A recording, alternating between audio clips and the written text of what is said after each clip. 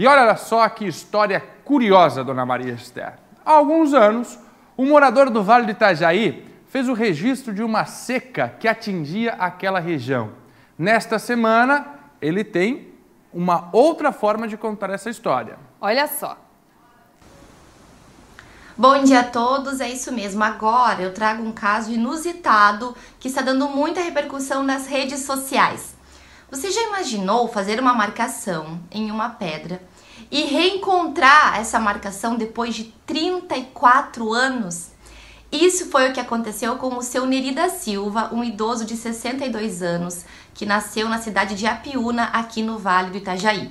Em janeiro de 1986, ele fez uma marca da data em uma pedra do rio Itajaiaçu, porque na época o município, assim como a região toda, vivia, passava por um momento de estiagem. Agora, depois de passado todo esse tempo, ele reencontrou essa marca. Vamos assistir um trechinho do vídeo onde o seu Neri conta essa história pra gente. Eu morava aqui, aqui em frente, aqui, para trás dessa casa ali, ó, eu morava ali. Aqui ali atrás é a BR. E daí deu uma seca parecida com essa e eu vim aqui com ponteiro e marquei numa pedra aqui a, a data que deu a seca. Quando começou a chover eu vim aqui e marquei. Para vocês terem uma ideia. E eu vim muitas vezes que deu uma sequinha meio parecida com essa. Eu vim aqui e não conseguia ver aonde eu tinha escrito a data, né?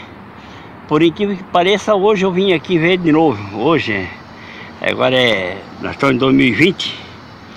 Ver quantos anos faz. Eu não sei se vocês vão conseguir ver. Mas eu vou mostrar para vocês aqui a data que eu marquei. Aqui na pedra aqui. É 1 do 1 de 86. Primeiro de janeiro, 1 do 1 de 86. Pois é, e a visualização dessa marca feita pelo seu Neri só foi possível porque o rio Itajaiaçu está com um nível de água muito abaixo do normal por conta dessa seca que atinge a nossa região e também o estado todo de Santa Catarina. Atualmente o seu Neri mora em Balneário Camboriú, mas ele costuma visitar com frequência o município de Apiúna, que foi onde ele viveu grande parte de sua vida. Eu volto com vocês aí no estúdio. Ai, que curioso, curioso mesmo, né, Fernando? 34 anos depois ele voltou e estava lá. Pena que tem que ser nesse momento da estiagem. Aí, pois né? é, há 34 anos o rio também estava seco, muito seco. Aí ele fez a marca na pedra. Aí o rio voltou a encher, até enchente deu, enfim. Agora voltou a secar, ele conseguiu ver de novo a marca. Curioso demais.